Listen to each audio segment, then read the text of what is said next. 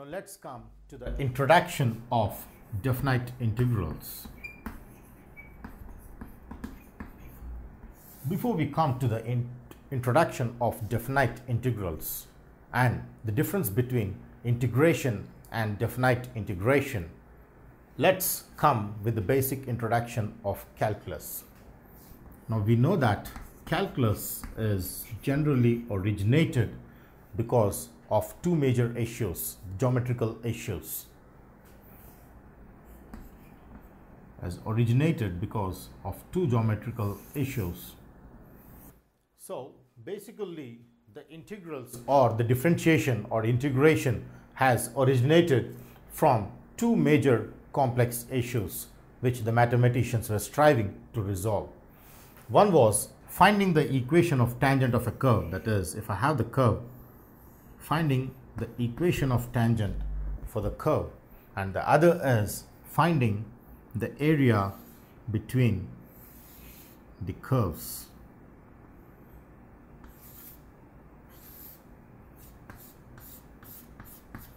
So this is how the calculus has originated where the curve is given by y equals f of x and here they are given by y equals f of x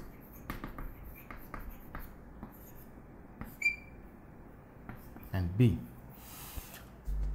So differentiation helps in finding the equation of tangent because the slope of the tangent is assumed as f dash x. This is how differentiation helps in finding the equation of tangent and hence the mathematicians could resolve finding the equation of tangent easily finding the derivative of the function f of x and hence differentiation has its significance in finding the equation of tangent to any curve y equals f of x. Similarly, the next geometrical concept which was unresolved by the mathematicians was finding the area of the curves. If I find, if I have the curves like perfect curves like triangle or a rectangle or any other normal curve, we, we can easily find area of triangle or area of rectangle or area of parallelogram etc. But what if the curve is irregularly shaped? How do I find area of this curve? How do I find area of this curve is the biggest question when we challenge in the field of mathematics. Finding the area of this irregular shape is not possible through any standard formula, but we use integration to solve these kind of problems where we find areas of irregular shapes. And let's see how definite integration has originated from this unresolved issue of finding the areas under the curves or areas of irregular shapes, etc. Definite integrals connected with geometry. Now, as we have seen in the introduction of definite integrals, that calculus has two unresolved issues, one being finding equation of tangent line and the next being finding the area under the curve. So let's connect with the curve.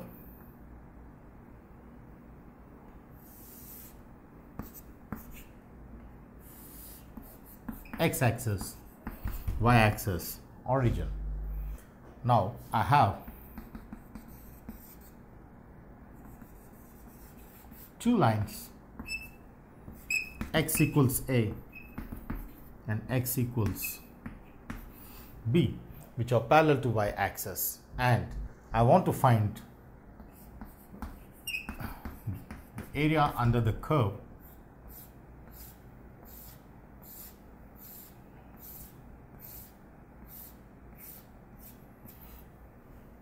which is this.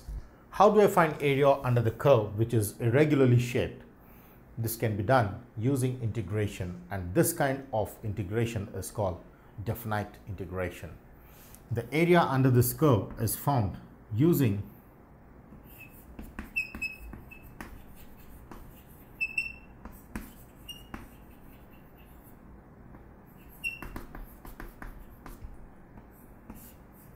as given by this shaded region is given by integral now because this area is bounded between x equal to a and x equal to b, we always say that these two are the boundaries where this is the lower boundary and this is the upper boundaries.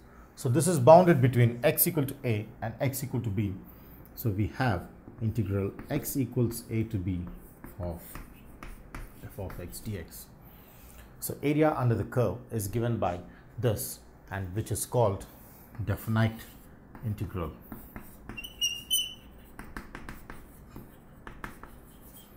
Because this integration gives a definite value. Therefore, definite integral does not have constant of integration c because it is definite with without any unknown constant c is how the definite integral is originated from finding the area under the curve. So definite integral is integral a to b f of x dx where a is called lower limit and b is called upper limit. Now let's see the notation for definite integral which is denoted by integral a to b f of x dx is and formula which is given by f of minus f of a. That is by substituting x equal to a in the integral first and this is how we obtain the formula. Here a is called lower limit and b is called upper limit and fx is integration of f of x over dx is how we understand each of them. So definite integral of a to b f of x dx is f of b minus f of a which is definite because it doesn't have an integration constant. So it's very important to note that definite integral does not have c the constant of integration and hence is definite. Is how we understand the definite integral as compared with integral. Integral has integration constant. Definite integral does not have integration constant. Partition. What is partition in integration concept? Now, when it comes to say, I have two real numbers a and b such that A is less than B. Then if I just represent them on the number line, I see that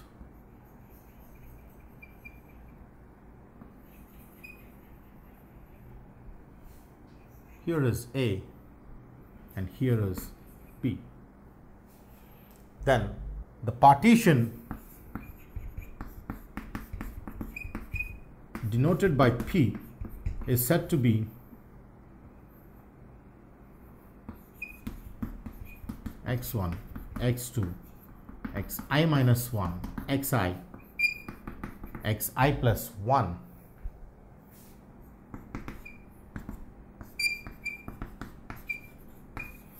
this this is said to be partition of the closed interval AB denoted by this number line including A and B with filled in circle is said to be the partition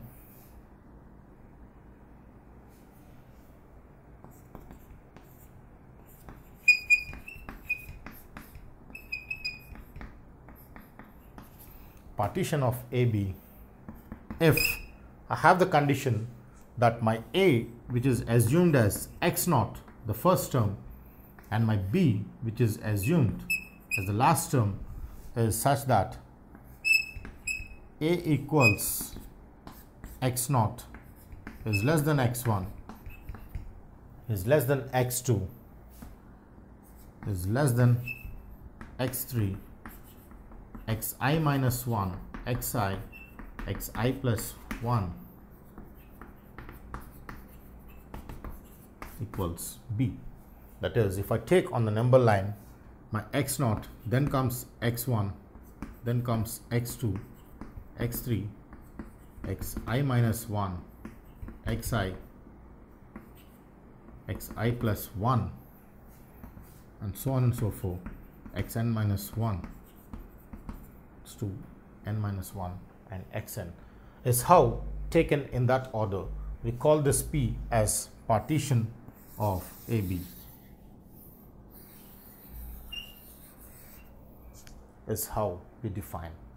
Therefore, partition of the closed interval AB is x0, x1, x2, so on and so forth till xn, where a and b are real numbers on the whole of the number line.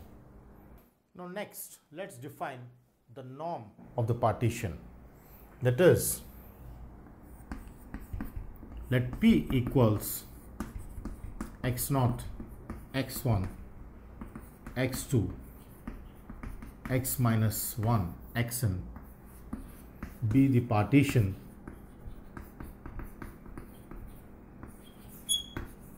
of AB where A and B are real numbers. So if this is the partition then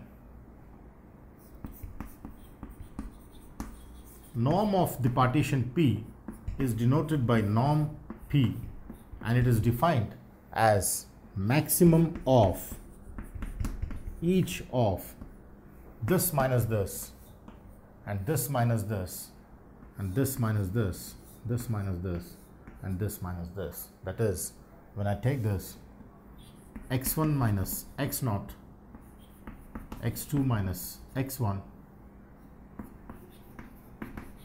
x3 minus x2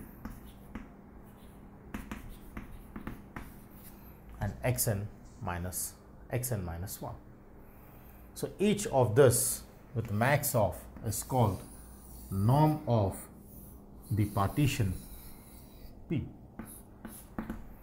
denoted with norm P and it is maximum of each of the lengths the norm of the partition P. If I have the closed interval AB denoted on the number line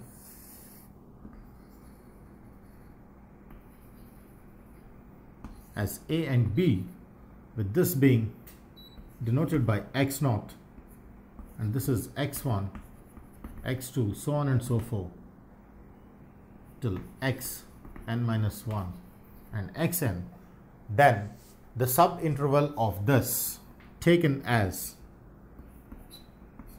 say xi minus 1 xi is called the subinterval this is called subinterval of the whole interval AB and length of this subinterval is denoted by delta xi which is given by the formula length of subinterval xi minus 1 xi is denoted by delta xi and this is xi minus xi minus 1 is how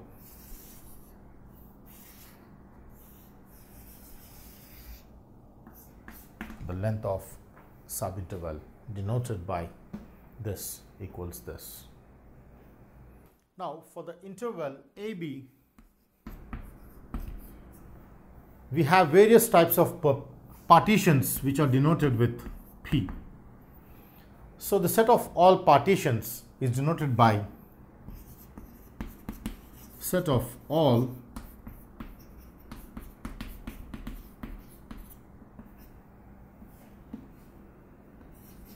partitions of AB is denoted by P of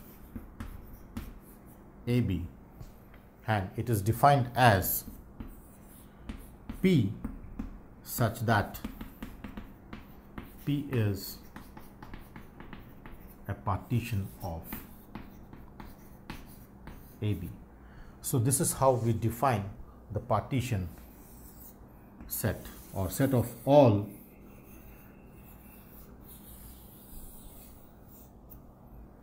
partitions. Set of all partitions of the closed interval AB denoted by P of AB as P such that P is a partition of AB. Set of all partitions and its notation.